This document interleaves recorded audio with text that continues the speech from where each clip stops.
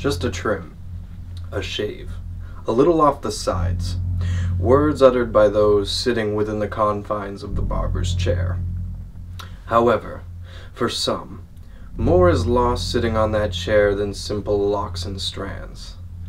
This is the story of one Mr. David C. Price and the love of his life.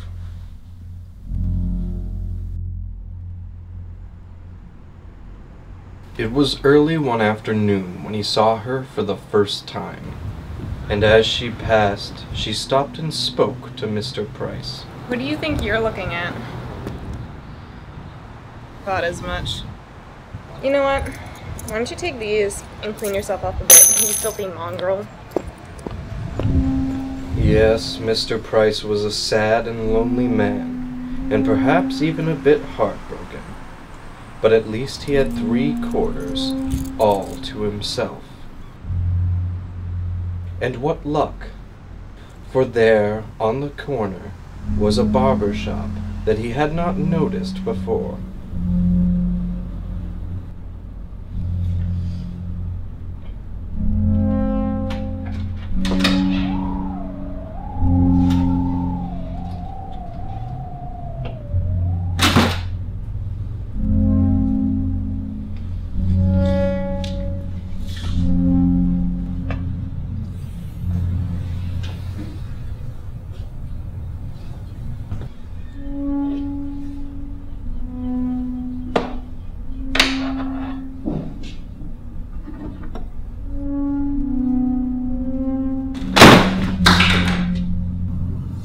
Didn't see you there.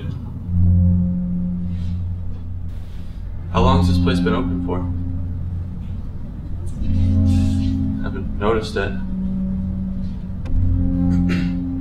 I was just gonna get a trim, but it seems like you're closed, so.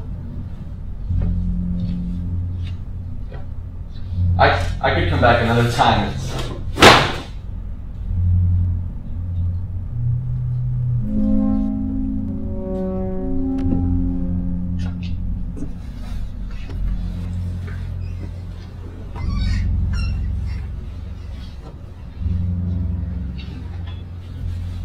Sure, the barber was quiet, but of course many people are. And so Mr. Price sat and got his trim. The scissors snipped with speed and grace until finally he was finished. And the barber removed the smock. this is wonderful. She must notice me now. Oh, yes. Of course. Thank you.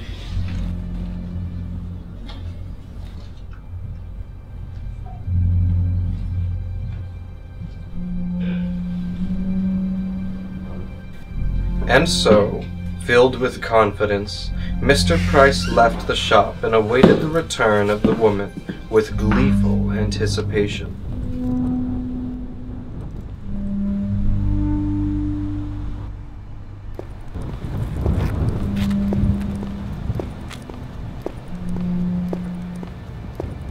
In a moment like this, he only wanted her more.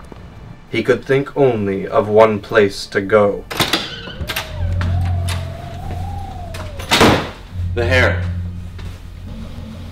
It wasn't enough. I need something more. Perhaps a shave.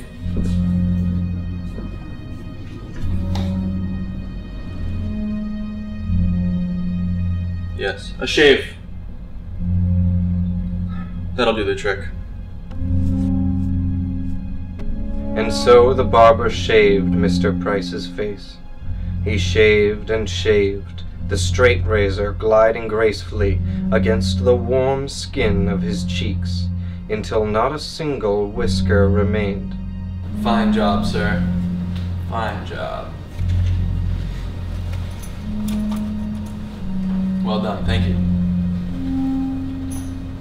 With his trimmed hair and clean shaved face, Mr. Price once more waited for his fair lady to pass. And so she did. Miss! I mean, excuse me. Well, look who it is. The mongrel. What do you want now? More money? No, ma'am, I was just wondering if maybe you noticed anything different about me lately. I got a haircut and a shave, just like you asked. And, well, I'm handsome now. You truly believe that? While you're still wearing those rags? But I'm handsome. And so dear Mr. Price was once more left lonely and defeated on the street corner. But for those who refuse to learn from their mistakes, repetition often becomes second nature. Didn't work. I did everything she asked. I don't understand.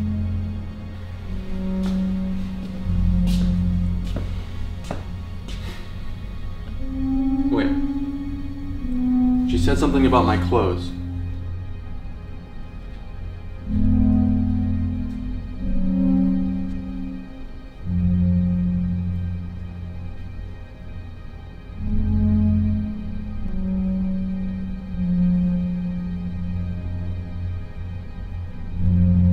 This.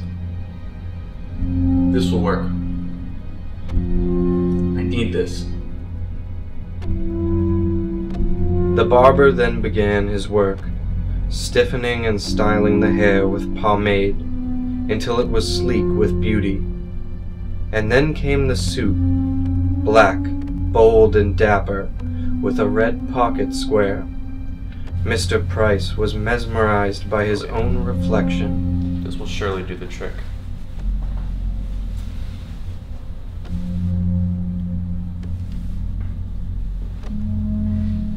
David Price waited once more on the corner, filled with pride and confidence, for today was surely the day that she would fall for him.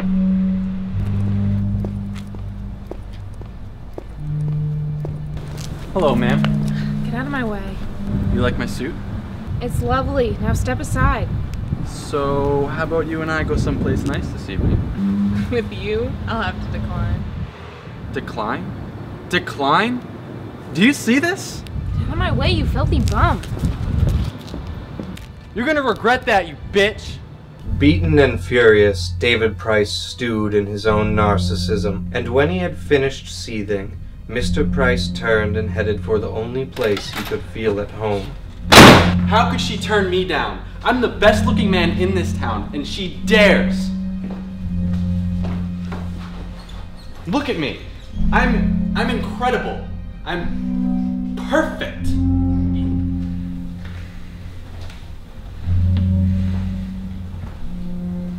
Incredible.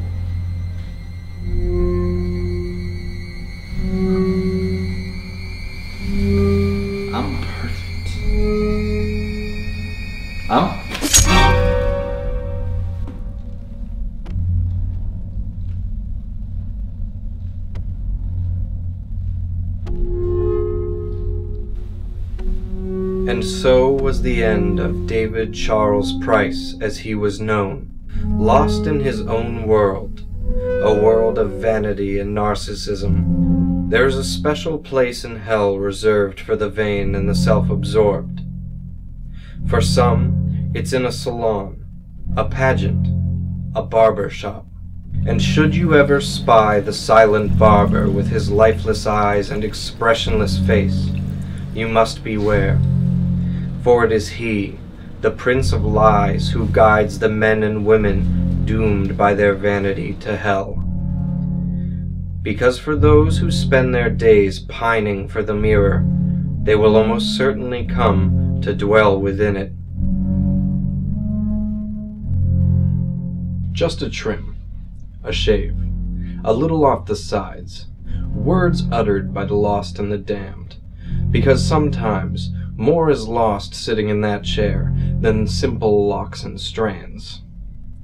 So the next time you see those spinning stripes outside the barber shop doors, consider the story of one Mr. David C. Price before taking a seat atop that chair.